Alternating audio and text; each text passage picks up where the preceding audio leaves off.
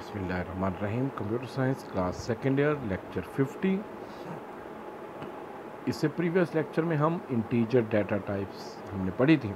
आज हम जो बाकी रिमेनिंग दो डाटा टाइप हैं, उनको हम डिस्कस करते हैं। कल से आगे हम वेरिएबल को डिक्लेयर कैसे करना है, इन डाटा टाइप्स को यूज़ कैसे करना है, उसको हम डिस्कस करेंगे। तो आज दो डाटा टाइप्स के फ्लोटिंग पॉइंट डाटा टाइप्स और चार डाटा टाइप्स को हम डिस्कस करते हैं। पहला इसमें आ जाता है float data type floating point ऐसी वैल्यूज़ कहा जाता है जिसमें इशारिया हो पॉइंट हो और एक्सपोनेंट वैल्यू हो, यानी पावर वाली वैल्यूज़ हो। तो इसमें कंप्यूटर के अंदर आम रूटीन में सी के प्रोग्राम में वैसे पावर नहीं लिखी जाती। तो उसको ई e के वर्ड के साथ ई e लिखा, फिर आगे उसकी पावर आप मेंशन कर देंगे, ये एक्सपोनेंट वैल्यू होगी। तो उसको फ्लो पॉइंट में भी हो सकता है और पावर में भी हो सकते है। इन वैल्यूज़ को कहा जा सकता है इन डाटा टाइप्स को कहा जाता है रियल डाटा टाइप्स ये अक्सर अवकात क्वेश्चन ये लॉन्ग क्वेश्चन में कई बार ये रियल डाटा टाइप्स के नाम से आ जाता है कि explain different real data types तो इसमें मुराद फ्लोटिंग पॉइंट डाटा टाइप्स होंगे।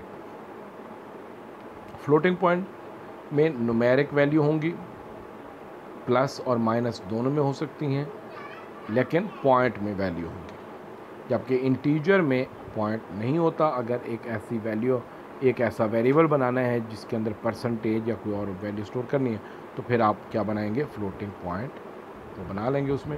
Floating point data type use करेंगे। तो इसमें floating point data is a numeric value with decimal point और fraction it is also called real data type include both positive and negative values. The minus sign is used to indicate negative value.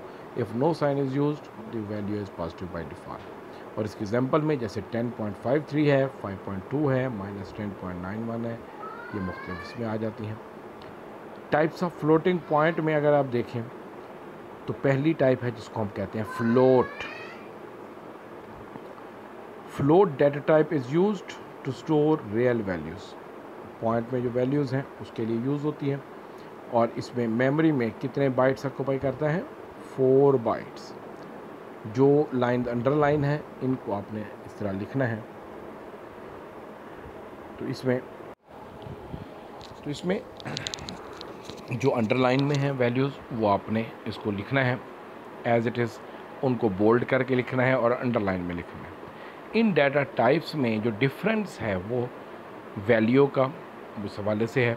तो इसमें its range is from 3.4 point four into ten की power minus thirty eight यानी exponent value minus thirty eight to plus thirty eight तक हो सकती है। और इसमें it provide the precision of six decimal places point के बाद छः डिजिट्स को इसमें मैनेज करने की फैसिलिटी होती है। Precision refers to the number of digit after the decimal point. Second इसमें आ जाती है डबल डाटा टाइप कि अगर फ्लोट वैल्यू से ज़्यादा है, यानी एक्सपोनेंट वैल्यू आपने स्टोर करनी है सिक्सटी तो सिक्सटी इसमें फ्लोट में तो स्टोर नहीं हो सकती, क्योंकि इसमें मैक्सिमम लिमिट कितनी है? थर्टी एट की है। तो उसके लिए हम क्या यूज़ करेंगे? Double data type double data type में एट बाइट मेमोरी ऑक्यूपाई करेगा, और उसकी रेंज क्या है? 1.7 पॉइंट सेवन इंटू टेन की रेज की power minus three zero eight to one point seven into ten की पावर थ्री ज़ीरो एट तक। तो उसको आप मैनेज कर सकते इसमें 15 डेसिमल पॉइंट तक हो सकती है। फ्लोट में सिक्स डेसिमल पॉइंट इसमें 15 decimal point long double data type है। इसमें वेरी लार्ज वैल्यू को स्टोर करने के लिए होता है। जो फ्लोट में भी स्टोर ना हो रही हो डबल में भी स्टोर ना हो रही हो इसमें मेमोरी टेन बाइट्स ऑक्यूपाई करता है। फ्लोट में four byte double eight byte और long double ten bytes occupy करता है। और इसकी रेंज क्या है? One point seven into ten की power minus four nine three two to one point seven into ten की power four nine three two तक ये हो सकती है। और इसमें डेसिमल प्लेसेस कितनी हैं? नाइनटीन उन्नीस डेसिमल प्लेसेस में आ जाती हैं। तो इनके आप डिफ़र के हवाले से आपने याद रख लेना है कि एक में फोर बाइट है, दूसरे में एट बाइट है और टेन बाइट है।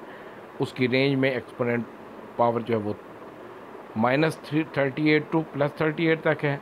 डबल में three zero eight to minus three zero eight to plus three zero eight जबकि इसमें minus four nine three two to four nine three two तक उसमें है।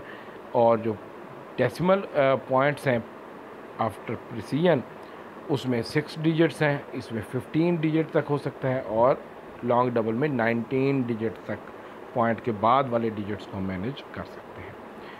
तो यहाँ तक ये हम देखेंगे। अब है इसमें चार डाटा टाइप अच्छा अब हम फ्लोट के बाद इसमें देखते हैं चार डाटा टाइप इसमें अगर हमें अल्फ़ाबेट स्टोर करने हो तो उसके लिए ये करेक्टर डाटा टाइप की ज़रूरत पड़ती है। या more than one character store करने हो तो उसके लिए भी करेक्टर डेटा टाइप हम यूज़ करते हैं, लेकिन एरे बनाते हैं। तो इसमें char data type is use to store character value it takes one byte in in memory ये मेमोरी में वन बाइट ऑक्यूपाई करता है। क्योंकि एक करेक्टर को स्टोर करने के लिए वैल्यू कितनी रिक्वायर होती है? वन बाइट तो इसमें it is use to represent a letter number or punctuation mark and few other symbols तो इसमें एक करेक्टर भी हो सकता है, एक नंबर भी हो सकता है, एक डी एक डिजिट या कोई पंक्चुएशन मार्क जैसे कॉमा है सेमी कॉलन है या अदर सिंबल हैं, जैसे नंबर साइन है, ये उसमें आ सकते हैं। एक तो character value are normally given in single quotation और इसको सिंगल कोड में स्टोर किया जाता है। जब वेरिएबल बनाएँ, उसमें कोई वैल्यू स्टोर करनी हो तो आप सिंगल कोड में वैल्यू देंगे और एक करेक्टर देंगे। एक करेक्टर हो सकता है, एक डिजिट हो सकता है या कोई सिंबल हो सकता है, लेकिन होगा एक ही। तो इसमें character values are normally given in single quotes it can represent individual character such as single quotation में जैसे ए है एक्स है फाइव है. नंबर साइन है.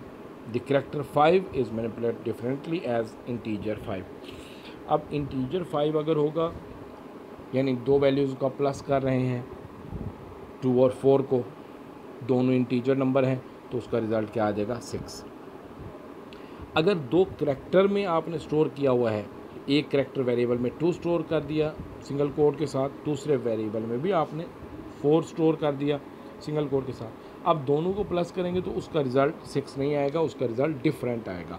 क्यों? कि उसमें टू के आस्की कोड को प्लस करेगा और फोर के आस्की कोड को को प्लस करेगा। ठीक?